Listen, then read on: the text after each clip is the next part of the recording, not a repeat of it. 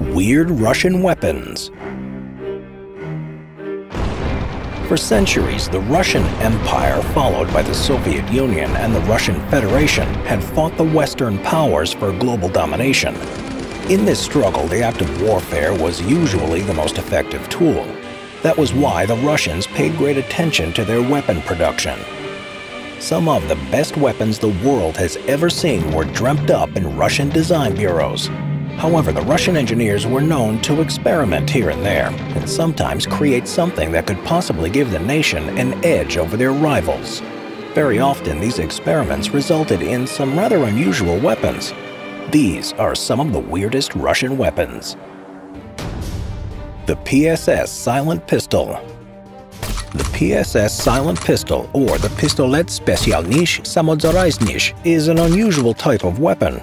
Described as going beyond being silent, the PSS is a pistol constructed entirely differently from other silent pistols.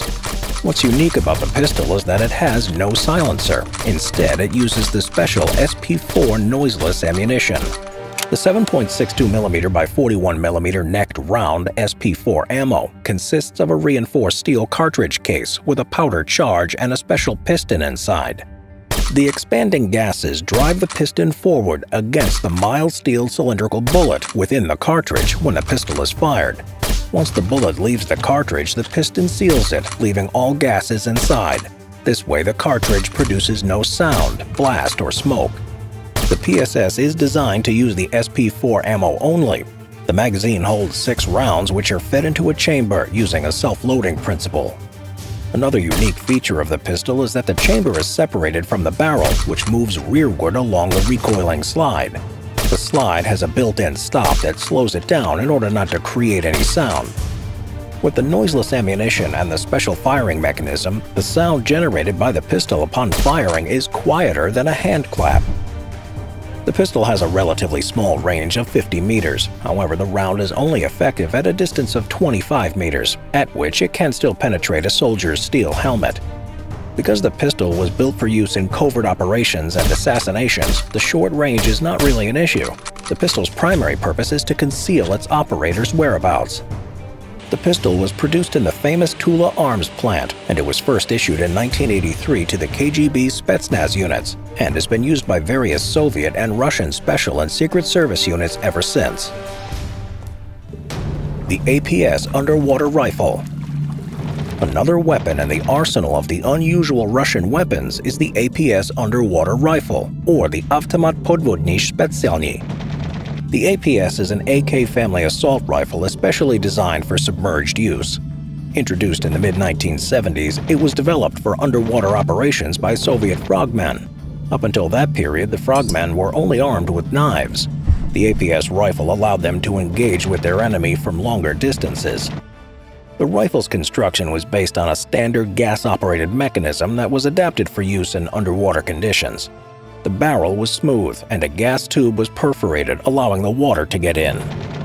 Unlike standard AK assault rifles, the APS fires from an open bolt to enable the barrel to fill with water constantly. The water in the barrel was necessary to stabilize the projectile. Since using conventional rounds underwater was pointless, considering that they lose their trajectory and penetration capabilities after only 3 meters, the APS was designed to fire special 5.66mm rounds with 120mm long steel darts. The round had standard 5.66mm by 39mm cases, sealed from water and filled with special propellants for underwater conditions.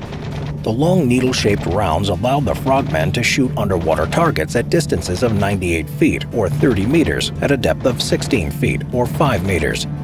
However, the weapon's effective range drops with increased depth and the pressure in the water.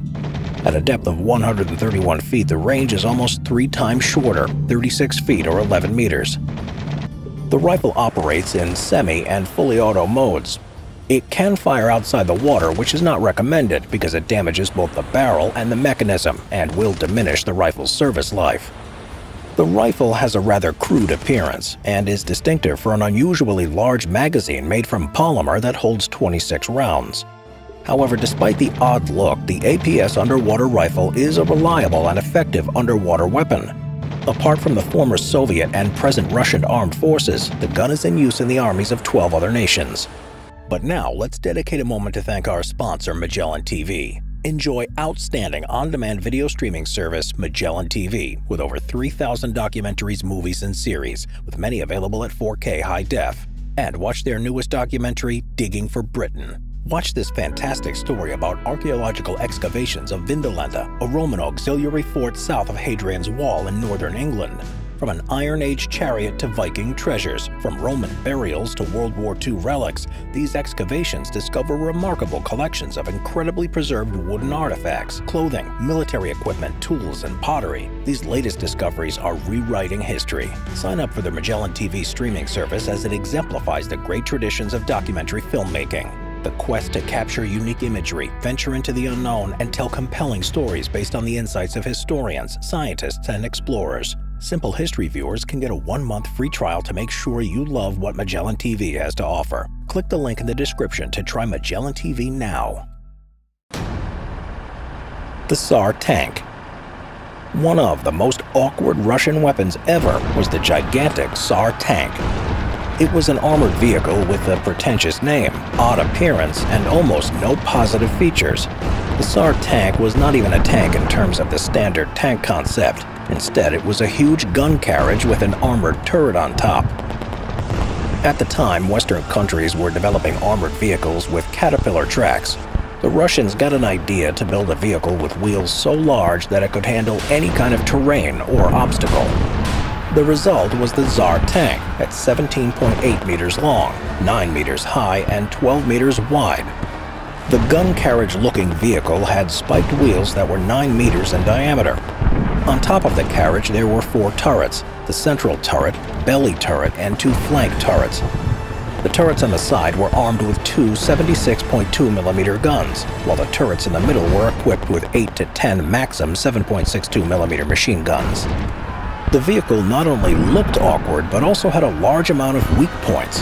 One of the most important was the vulnerability of the spiked wheels, and their size interfered with the gun's shooting trajectories. The tank would have probably never reached the trial stage if Tsar Nicholas II Romanov hadn't been so delighted with the scale model of the tank he was presented with. However, when the tank was brought out for a test run in front of a group of army dignitaries, it was a huge disappointment. The 60-ton tank got stuck in the mud. Its tiny rear wheels and the poor weight distribution made it bogged down in the rough and muddy soil, which was so typical of the landmass of Russia. The long-awaited wonder weapon that was to have given the Russian forces an advantage on the battlefield ended up on the scrap heap in 1923. The Antonov A-40 flying tank tanks evolved a lot between the two world wars, especially their tactical deployment. By the time World War II started, military strategists had been thinking about various methods of how they could be delivered to the battlefield. One idea was by dropping them in from the air. The Soviets, along with other countries, had their own development program for airborne tanks. They conducted a couple of experiments for this purpose, of which the most interesting was the tank glider design. Behind this idea was the legendary Soviet airplane designer Oleg Antonov. He envisioned delivering light tanks to battlefields or even behind enemy lines by attaching wings to them. The T-60 Light Scout tank was adopted for this purpose. Antonov fitted it with a detachable cradle bearing large biplane wings made of wood and fabric with a twin tail.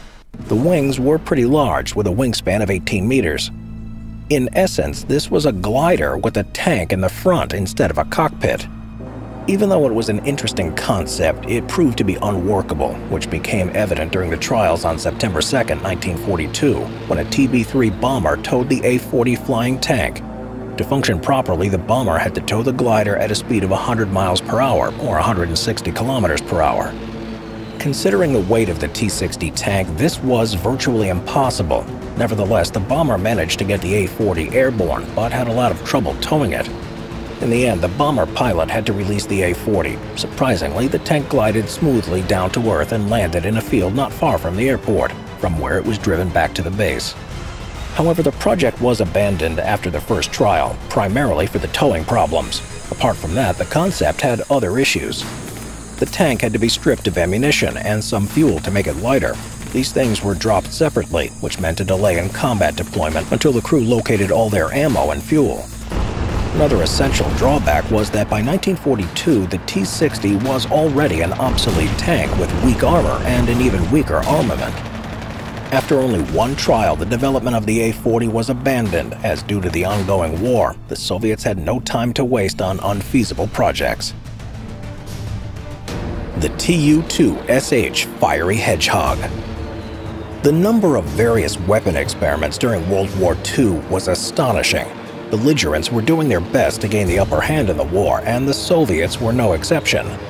As the war progressed, the Red Army was slowly taking the initiative on the Eastern Front, by 1944, their armored units were in full swing, and their Air Force had established supremacy in the air.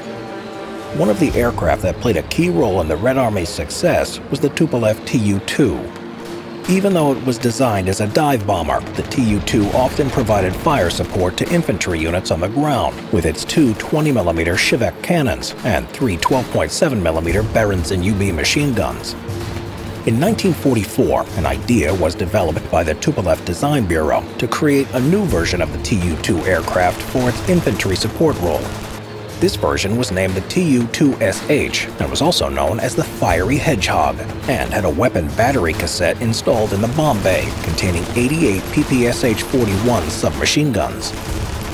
Arranged in 11 rows, each with 8 guns, every PPSH gun had a standard 71-round drum magazine fitted, with the PPSH's astounding rate of fire of 1,250 rounds per minute, the Tu-2SH could deliver 6,248 steel-cored incendiary rounds in less than 4 seconds.